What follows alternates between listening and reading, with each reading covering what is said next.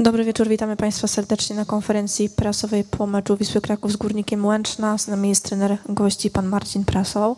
Dobry wieczór, panie trenerze. Dobry wieczór. Poprosimy o komentarz do meczu. No całą tą rundę jeździliśmy po wyjazdach i, i, i w ostatniej praktycznie kolejce wiadomo jeszcze jest jeden, jeden mecz, ale to jest z rundy wiosennej, ale z rundy jesiennej zwycięstwo na wyjeździe myślę, że smakuje i cieszy dzisiaj bardzo. Wiem, że się w piłce nie da nic odrobić i, i tych trzech punktów sprzed tygodnia nie, nie odrobimy, ale dzisiaj myślę, że drużyna zareagowała bardzo, bardzo dobrze na, na ten mecz i, i to myśmy dzisiaj wyszarpali to, to zwycięstwo i chwała za to chłopakom, gratulacje, bo, bo myślę, że e, po ciężkim meczu, ale, ale, ale zasłużyliśmy, chociaż Wisła też, też miała swoje sytuacje i, i tym poświęceniem, determinacją wybroniliśmy. Także jeszcze raz gratulacje dla drużyny. Dziękuję. Dziękuję, zapraszam do zadawania pytań. Nie ma pytań, dziękujemy bardzo. Dzięki. Do zobaczenia, powodzenia. Witamy Państwa po przerwie. Jest z nami trener Wisły Kraków, pan Radosław Sobolewski. Panie trenerze, poprosimy o kilka słów komentarza do meczu. Dobry wieczór. To był ostatni nasz domowy mecz w tej rundzie. Na pewno zakładaliśmy sobie, że chcemy sprawić jak najwięcej radości naszym kibicom, e, grając dobrze i wygrywając. Niestety mm, najważniejsza ze statystyk, czyli wynik, jest dla nas bardzo niekorzystny. Przegrywamy spotkanie 1 do 2.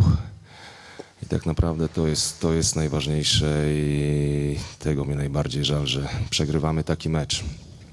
Mm.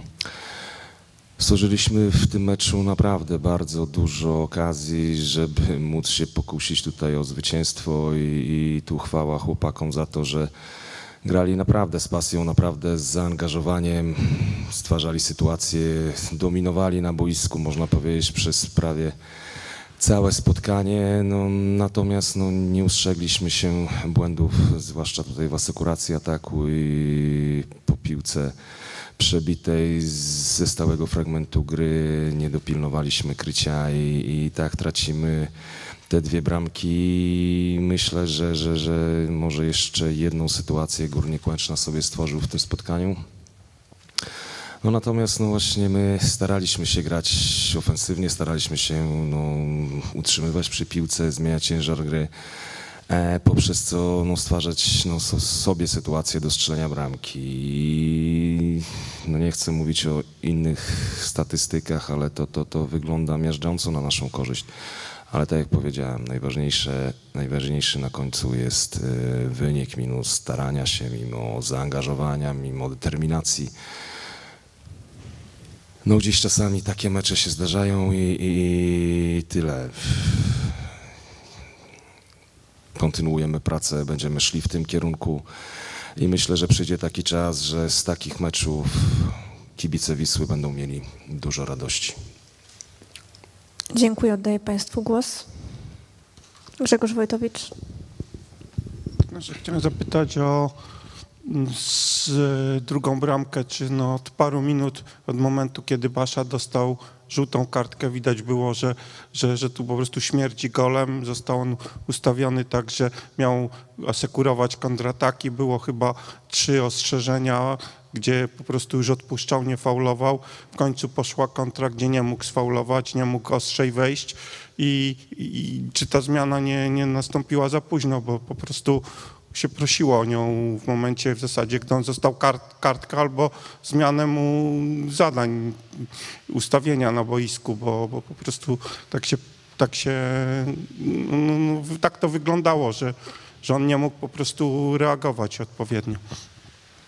Znaczy Basza odpowiednio reagował, skoro, jak pan mówi, te, te były te trzy ostrzeżenia, ale zareagowaliśmy dobrze, przeciwnicy nie wyszli z tą, z tą akcją. E, Basza nie dostał czerwonej kartki, czyli to nie było za późno. Wydaje mi się, że gdzieś w odpowiednim momencie zmieniłem Baszę. Mm, Natomiast no, przy tej sytuacji, no to nie, nie, nie tylko tam Basza, że tak powiem, nie chcąc faulować, mógł gdzieś tam agresywniej wejść oczywiście, no miał na koncie swoją żółtą kartkę, ale tutaj dobrze przeciwnik gdzieś go minął. Natomiast jeszcze są inni zawodnicy, który, którzy mogą naprawić pewne rzeczy. I to nam się nie udało. Tak naprawdę była wybita piłka, później poszła powtórna wrzutka i gdzieś też błąd w ustawieniu już w końcowej fazie w ochronie pola karnego. To tak naprawdę ta akcja, to, ta akcja trwała dłużej, więc tutaj co, co, co do tej sytuacji, to nie wiem, mi się wydaje, że Zmieniłem w odpowiednim momencie Baszę, właśnie biorąc pod uwagę, że ma żółtą kartkę. Inaczej byśmy rozmawiali, jakby on dostał czerwoną. Można? Bo pan redaktor jeszcze. Grzegorz Wojtowicz? No, mi chodzi o to, że zmiana nastąpiła po straconym golu. Gdyby tam był na przykład inny zawodnik, to mógłby tą akcję wtedy przerwać. No ale mniejsza z tym, natomiast mam pan rację, że to nie była tylko jego wina, tylko przede wszystkim koleja, który no, po prostu zachował się nieodpowiedzialnie. Ja wiem, że, że tu teraz jeszcze trudno za jakieś wnioski, no ale czy, czy, czy, czy, czy naprawdę na tak nieodpowiedzialnie zachowujących się stoperach przekroju całego sezonu można w ogóle cokolwiek budować, no bo jak się patrzy na niego grę, to on, on owszem, daje czasami coś tej drużynie, no ale po prostu ile punktów przez jego nieodpowiedzialne zachowanie ta drużyna straciła, to nie wiem, czy wyrównuje to tymi swoimi dobrymi zagraniami. Panie redaktorze, wydaje mi się, jeszcze mamy dwa spotkania, jedno w Pucharze i jedne, jedno spotkanie jeszcze ligowe zostało. Na podsumowanie przyjdzie rundy czas. Piotr Jawor. Panie trenerze, jakieś e, dwa tygodnie temu wspominał Pan, że planem minimum będzie, e, albo celem minimum, może nie planem, e, miejsce w strefie barażowej. Wygląda na to, że raczej nie uda się tego osiągnąć. Moje pytanie jest takie, czy w jakiś sposób myśli Pan, że to zweryfikuje plany na zimę, czy to transferowe, czy myślenie na temat awansu drużyny do Ekstraklasy, czy jednak pozostajecie dalej na stanowisku, że Wisła Kraków w tym sezonie ma awansować? Nie, u mnie się nic nie zmienia. Wisła Kraków musi w tym sezonie awansować i będziemy robili wszystko, aby, aby tak się stało i wierzę w to ogromnie. Jeżeli będziemy kontynuować tę pracę i będziemy mm, szli w tym kierunku, bo mi się, wy- wydaje mi się, że gra bez dwóch zdań gdzieś, gdzieś, gdzieś poprawiła się w bardzo wielu, wielu elementach i tyle. Nic tu się nie zmienia. Mm, Wiadomo, bardzo ciężko, już teraz nie patrzyłem w tabelę. E, miejsce po rundzie jesiennej, jeżeli chodzi o tę tą pierwszą szóstkę, to te miejsce mm, gwarantujące grę w barażach, no, jest, jest, jest chyba już nieosiągalne, tak? Jak strata punktowa teraz jest, bo nawet... Okej. E, Natomiast tu się u nas nic nie zmienia, jest jeszcze mnóstwo meczów do końca, do końca sezonu. E, Plany również się nie zmieniają. Na pewno będziemy dążyli do tego, żeby zespół był wzmocniony bez dwóch zdań i, i, i tutaj mm, tu z mojej perspektywy nic się nie zmienia. Mają Państwo jeszcze pytania? W takim razie bardzo dziękujemy. Dobranoc. Dziękuję bardzo, dobranoc.